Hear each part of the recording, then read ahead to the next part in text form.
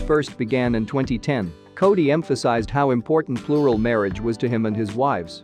Although he was not raised in this lifestyle, he eventually converted when he was in his early 20s. Along with his father, the two men had always professed the Mormon faith, but they were a different group. Kody married Meri, who was raised in the faith of polygamy, so they knew they would end up taking more wives. They became close to Janelle, who was actually married to Meri's brother.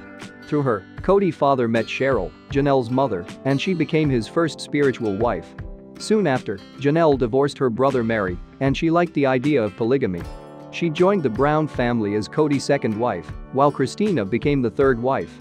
Kristen, like Meri, grew up in a large family, so this was the path she was destined to take.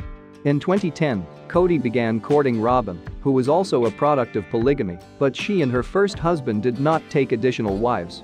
Raising 18 children, none of them actually expressed a desire to be a polygamist during an interview. It has never been completely ruled out, although some have been adamant. Now a thread has started on Reddit about how the Brown kids never get into plural marriage and why. The family of sister wives gradually disintegrated.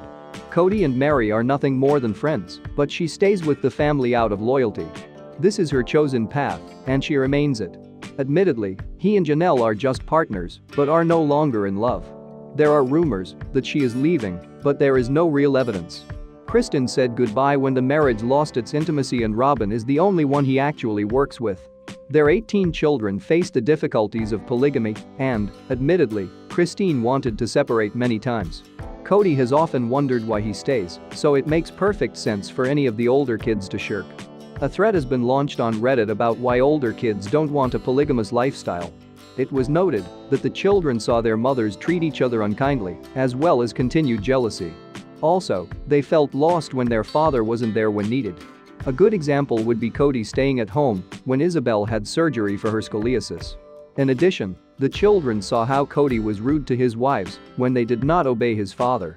It is quite understandable why they did not choose this life. Another Reddit user believes things would be different if the kids continued to attend their church with like-minded people. Curious if Kody feels he has failed in his faith as none of his older married children have followed him. Which of the younger children do you think will choose polygamy or has this ship already sailed? Let us know about it in the comments.